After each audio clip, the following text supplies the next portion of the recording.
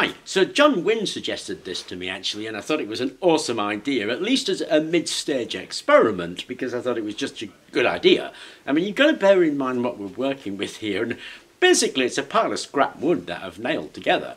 So if it does anything, it's awesome. And any way we go from here to improve the performance or improve the build quality of it is going to improve the performance.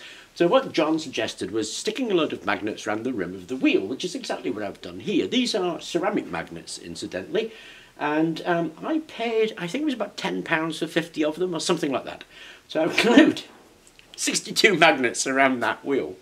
And here is a microwave oven transformer, and I've been using this a lot actually in these experiments because it does quite a good job actually.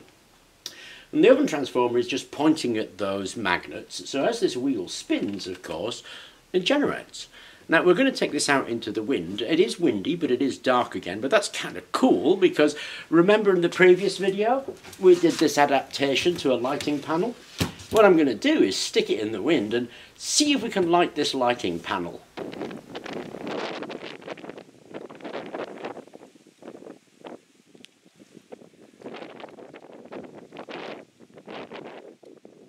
there we go. Enough to light that LED panel. Isn't that cool? to it's ridiculous.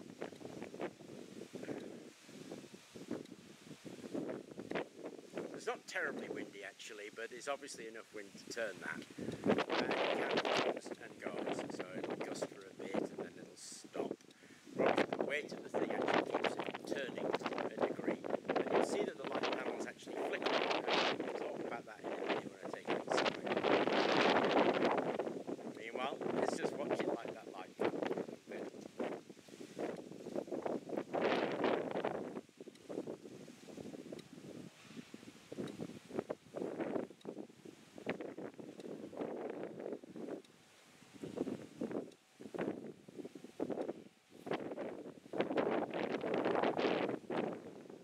Just awesome.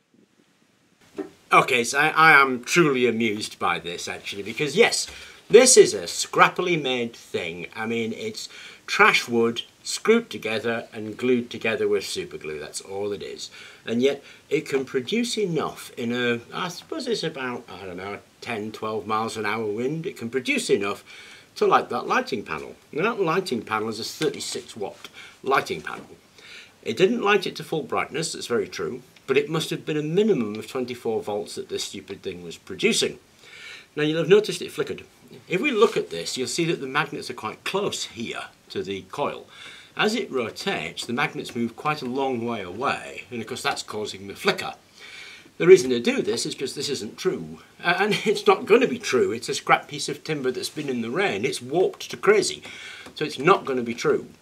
Now, if we did this, however, in this arrangement with the magnets around the outside and it was true, then we would get really good generation out of that. I mean, that's what we're seeing.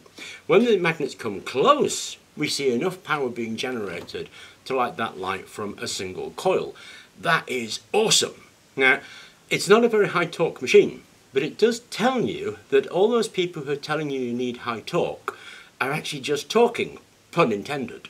Actually, apparently, you don't. Apparently, with a low torque, as long as it's at the rim, then you're going to get generation. And I think that's where um, vertical axis and horizontal axis wind turbines are going to win.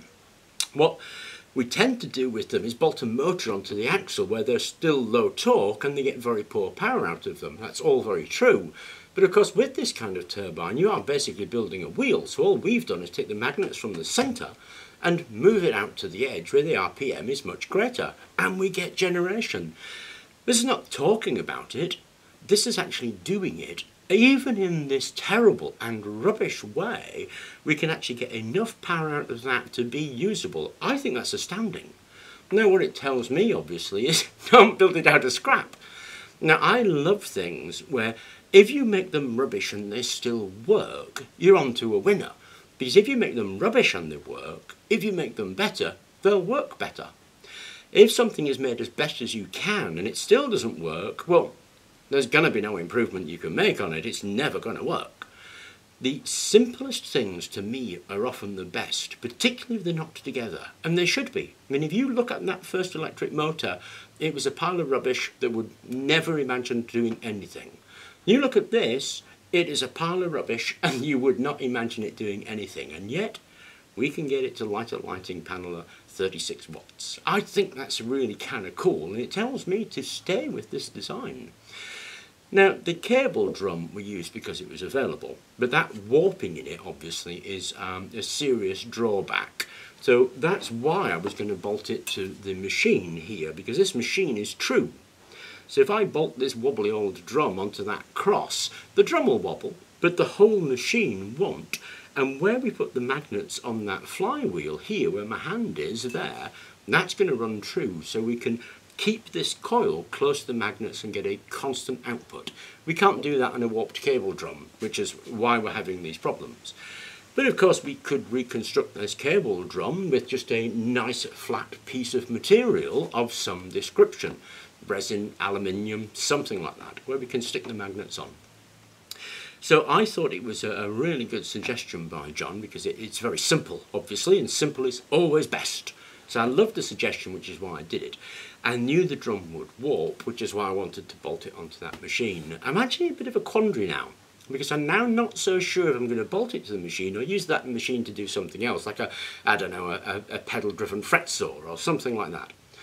Remake this, but remake this so that everything's true and that we can keep that close and then see what kind of generation we can get out of it.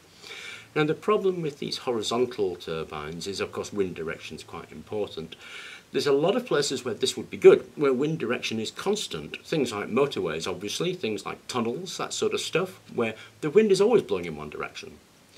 But if you've got multi-directional wind, you probably really do need a vertical wind turbine of this design. So I'm thinking remake this, but in a vertical axis, and of course we'd need a thrust bearing at the bottom and a proper bearing at the top, same magnet arrangement where the magnets around the rim. Now obviously we did this when we did the rotating vent wind turbine. It's exactly the same kind of thing. Here though, it is very makeable without having to spend an absolute fortune on it. So my thought is to remake that in better materials as a vertical wind turbine and use the bike for something else. But I thought I'd share John's suggestion with you. I thought I'd show you the results of it. I'm pretty impressed and it's taught me a lot about these things. So I hope you enjoyed the video and thank you very much for watching.